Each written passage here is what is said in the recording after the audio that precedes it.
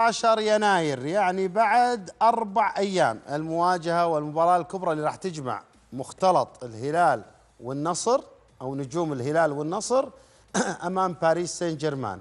المباراة الساعة الثامنة مساء على استاد الملك فهد الدولي في العاصمة السعودية الرياض يوم الخميس. اليوم آه، آه، معالي المستشار تركي آل الشيخ. اليوم اجتمع مع كريستيانو رونالدو ومنحه كابتنية شارة الكابتنية لهذه المباراة خلينا نسمع المقطع اللي الآن ظهر قبل قليل يلا الوعد يوم 19 مع كابتن الرياض سيتي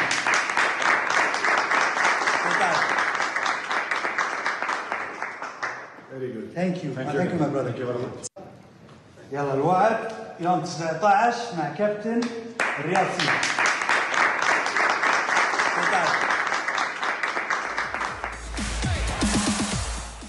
غدا إن شاء الله راح يعلن تعلن تشكيلة المباراة من فريقي الهلال والنصر و ويمكن يمكن يعني آه، بانيجا يمكن يضاف لهم لاعب نادي الشباب لكن ما عندي تأكيد حتى الآن.